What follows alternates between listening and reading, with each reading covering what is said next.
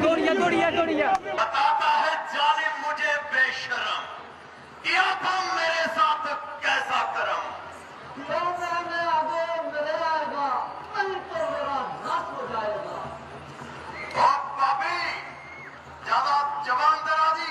Thank you.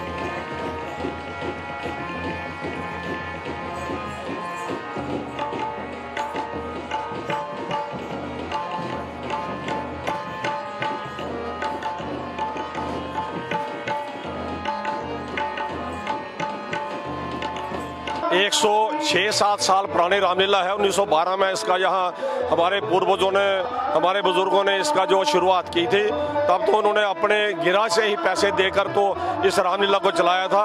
आज एक ऐसे मुकाम पर ये रामलीला बसोली की पहुँच गई है कि इसमें आज आप देख रहे हैं कि हज़ारों की तादाद में लोग जो हैं वो यहाँ जम्मू कश्मीर से तो हैं, लेकिन पंजाब से, हिमाचल से भी लोग जो हैं वो अटल सेतु के ब्रिज की मान जानब से यहाँ आ रहे हैं। और हम चाहते हैं कि सरकार इसे ज़्यादा और प्रोत्साहन दे और हमारे नौजवान जो बच्चे हैं, जो यहाँ कला का जो यहाँ कला का जो आनंद लेते हैं, वो सारे हिंदुस्तान में अच्छे तरीके से प्रसिद्ध हों और ये गवर्नमेंट जो है हमारी, ये पूरे इंटरनेशनल लेवल पर हमारी बसोली की रामलीला जो है, इसका मंचन जो है वो हम करवाए।